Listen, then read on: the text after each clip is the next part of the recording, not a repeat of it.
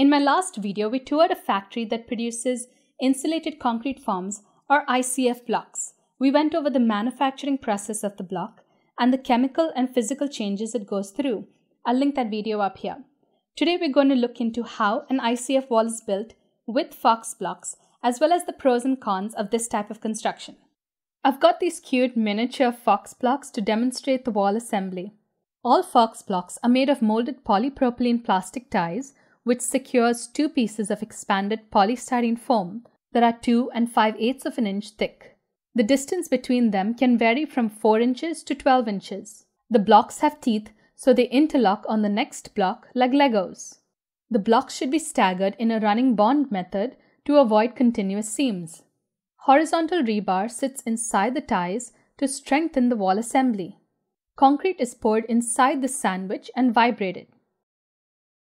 Fox Blocks has a variety of products. Straight blocks make up 80% of ICF wall assemblies on most residential and commercial jobs. Corner blocks have corner brackets designed to add more strength and support to eliminate blowouts during the concrete pour. T blocks are used where two walls intersect, like an exterior wall to an interior wall. 45 degree angle blocks provide more design options. They also have a corner bracket to reinforce the vulnerable edge. Radius blocks are 16 inch long specialty blocks used to build curved walls. They have to be specially ordered.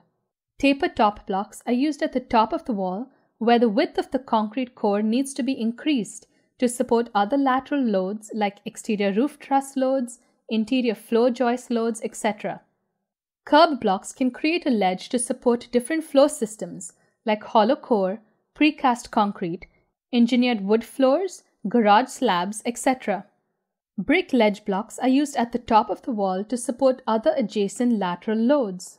After concrete is poured, it can support a 25 foot tall masonry wall. So, how do you build ICF walls? After excavating the site, the concrete footing is poured along the perimeter walls with rebar sticking out of them. You must make sure that these footers are perfectly leveled. Next, the corner blocks are placed to define the edges. Straight blocks are then placed in a running bond staggered layout towards the center of the wall. Rebar or reinforcing steel bars snap into the polypropylene ties of every single ICF block. Any open seams must be sealed with foam and tape. The walls are constantly checked to make sure they are level and plumb. After all the blocks are stacked, the wall is braced on one side. Next, the concrete must be properly prepared because it is a vital part of this wall the concrete in ICF walls must have a slump of 5 to 6 inches, which is higher than the slump for a floor, which may be at 3 inches. The proper slump allows the concrete to be pumped and to flow more efficiently. A lower slump can create voids and honeycombs in the walls, which can create more hydrostatic pressure and damage the blocks. The aggregate must be between 3 eighths of an inch to 3 quarters of an inch. Using larger aggregate may cause congestion between the form wall and the reinforcement, resulting in voids. The 28 day compressive strength of concrete must be at least 2500 psi, but preferably higher, 3000 to 4000 psi, because this can help the flowability and pumpability of concrete. The concrete is poured in 1 foot to 4 foot increments to manage the concrete pressure and reduce the risk of blowouts. Now let's discuss all the advantages of ICF wall construction. The most obvious one is the strength of the wall compared to wood or stick building. ICF homes are permanent structures that will stand for a hundred years or more. They will withstand hurricanes and tornadoes, so they are great in Texas and Oklahoma. The only thing that might get damaged is your wooden roof. They can also withstand floods because EPS and concrete are water resistant, so they are popular in coastal areas. The only thing that you would need to replace is the drywall inside your home. They are also fire resistant to a certain degree, so they are great in areas like California. They have a 4 hour fire rating compared to wood framed homes that can collapse in under an hour. This photo was taken in San Diego. The three homes left standing were built with ICFs. Another advantage is their airtightness provided you use good quality doors, windows, and a roof. The continuous interior and exterior insulation also prevents mixing of cold and warm air, thus reducing condensation and mold. Air changes per hour, or ACH, is a measure of how many times air within a space is replaced in one hour. ICF homes with a wooden roof have 1 to 1.5 ACH compared to wooden homes which have 5 to 12 ACH. So an ICF home has less air leaking out through the walls so you can downsize your air conditioning system and you'll see a reduction in your energy bills. Home Energy Rating System or HERS index is a way to measure efficiency of a home. Typical homes have a score of about 130, but ICF homes typically score in the 30 to 50 range. Low sound transmission is another advantage. An ICF home with a 6 inch concrete core has an STC rating of 50 to 55, compared to an insulated 2x4 wooden wall, which has an STC rating of 40. Fox Blocks markets their wall as a 6 in 1 assembly. The EPS foam acts as a natural vapor barrier and provides continuous double layer insulation. The solid concrete core acts as an air barrier. The polypropylene ties have inbuilt rebar support and also acts as fastening or furring strips for any finish like drywall, Hardie board, brick, vinyl siding, etc. Finally, their reversible interlocking design saves construction time and reduces waste. This 6 in 1 property equates to faster wall construction fewer trades out on the job site, and less room for errors. They are a great DIY wall assembly. Even if you contract out the pouring of the concrete, you can still stack all these blocks yourself to reduce costs. The average cost of an ICF wall is around $15 per square foot, but you can bring it down to $10 per square foot if you stack these yourself. ICF walls also have a pretty good R value, which is a measure of how well it resists the conductive flow of heat. Concrete itself has no R value, just thermal mass, so every ICF wall, whether it's 4 inches or 12 inches, is around an R22 wall. If you consider the thermal mass of 6 inch concrete, the wall performs more like an R50 wall. ICF wall construction is very versatile, which surprised me. I thought it would have some height restraints but you can build multi story residential buildings with these blocks. They can also be used on slab on grade or pier and beam homes to build walls from the basement up to the roof. You can also use all sorts of exterior finishes on these blocks.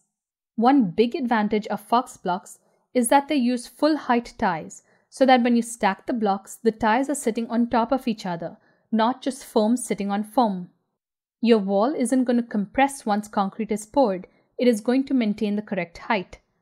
For those of you interested in 3D modeling your home, Foxblocks has an extensive BIM library where you can assemble your complete home and generate cut sheets and specs. So that's a lot of advantages over other construction assemblies, but let's go over some of the disadvantages. It is more expensive than wood construction in the States. It's a great alternative to CMU block walls in countries where pine trees aren't native. ICF walls are also not as good in cold climates where you need a higher R value. Waterproofing is a little bit of a concern.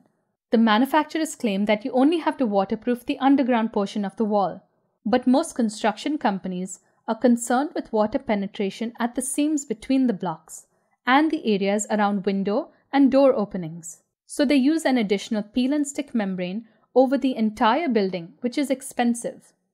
Running electrical and water lines through the house and even installing electrical boxes in your walls requires you to melt and cut out EPS foam or even the ties, which is disruptive. If you have conduit larger than 2 and 5 eighths of an inch, it will stick out of the wall, so you'd need to fur out or build out the wall to hide it. Another disadvantage is that concrete releases a lot of heat and moisture during the curing process, which can last a whole year ICF homes can have humidity issues if they aren't properly ventilated. The walls also occupy a lot of space.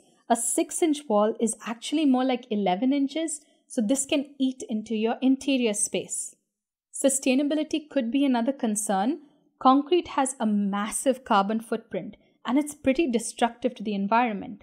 But you also need to compare the lifespan of a poorly built wood framed home to the 100 plus year lifespan of an ICF home. Remodeling the exterior walls of an ICF home is nearly impossible. You'll have to jackhammer through the concrete to modify it. You also can't have your typical beer guzzling lazy builders on site with an ICF home. It has to be planned out carefully if you want to avoid routing through all the EPS foam to run cables. Wood construction is more forgiving because you can hide your mistakes. Considering all the pros and cons of ICF walls, I have to admit that I'm a huge fan of this type of construction, and I'd seriously consider building an ICF home in Dallas if and when I buy the land. Wood just keeps increasing in price, and the quality of these finger jointed pine wood that developers are using nowadays just to lower costs is pitiful. Construction codes also keep getting stricter, I expect them to require R30 walls, even in Texas, very soon. And old school fiberglass insulation just isn't going to cut it. I think homeowners are slowly going to demand better built homes because of all the information that's available on the internet.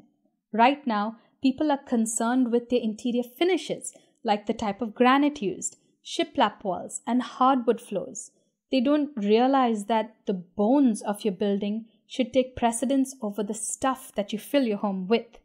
I can see ICF homes becoming more popular, especially with custom builds. Hope you enjoyed that video. Leave me a comment below if you have any personal experience building an ICF home. Don't forget to hit the like button and subscribe to my channel. Thanks for watching. See ya.